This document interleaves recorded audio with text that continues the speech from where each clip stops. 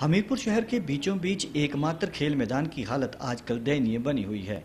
खेल मैदान के साथ लगते खेल स्टेडियम के अंदर भी कूड़ा करकट और गंदगी का आलम होने से खेल प्रेमियों में गहरा रोष पनप रहा है। आलम ऐसा है कि खेल मैदान में कीचड़ पसरा हुआ है और जगह जगह पर घास उगी हुई है, जिसके चलते खेल मैदान में खिलाड़ियों को प्रैक्टिस करने में दिक्कतें आती हैं। वहीं खेल मैदान में लोगों के द्वारा अपनी गाड़ियों को भी पार्क किए जाने से खिलाड़ियों को प्रैक्टिस करने के लिए मैदान सिकुड़ जाता है। बाल स्कूल खेल मैदान के हालत को लेकर खिलाड़ी वर्ग ने अब खेल मंत्री अनुराग ठाकुर से मैदान की हालत को दुरुस्त करने की गुहार लगाई है। खिलाड़ियों का कहना है कि पूरे खेल मैदान में गाड़ियाँ खड़ी रहती हैं, जिससे खिलाड़ी हर समय परेशान रहते हैं। उन्होंने कहा कि खेल मैदान की हालत इतनी दयनीय है कि अब यहाँ पर बच्चे भी खेलने नहीं आ रहे हैं। उन्होंने खेल मंत्री से मांग करते हुए कहा कि खिलाड़ियों के भविष्य को देखते हुए खेल मैदान को दुरुस्त किया जाए। अभी ग्राउंड का भी देखा है, कितना बुरा हाल है। यहाँ पे पूरे ग्राउंड में हर जगह गाड़ियाँ खड़ी हैं।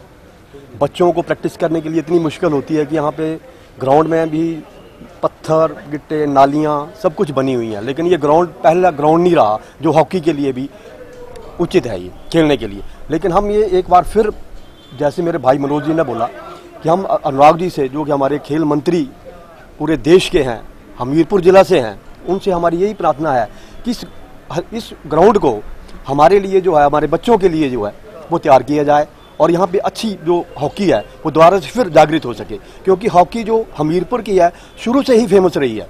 हमीरपुर की प्रदेश में एक नंबर वन पे हुई थी। लेकिन आज कंडीशन ऐसी हो गई है ग्राउंड की वजह से हमारी हॉकी जो है, वो हमीरपुर की सबसे नीचे चलेगी इस कारण हम एक बार फिर यही प्रार्थना करते हैं कि ये ग्राउंड अच्छा बने और बच्चों के लिए ये काम आए।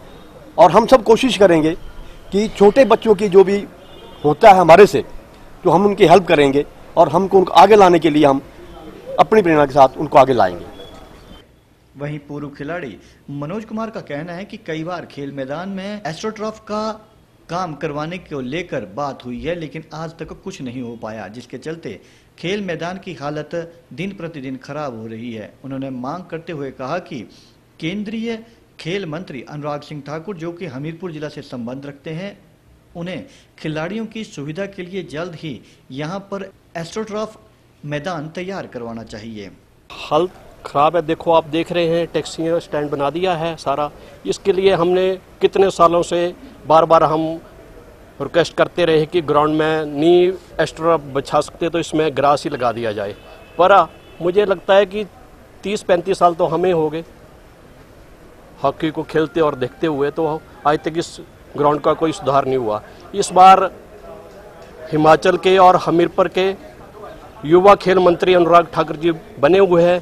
तो मेरी उनसे विनती है कि हमीरपुर में एक एस्ट्रोटैप ग्राउंड बनाया जाए।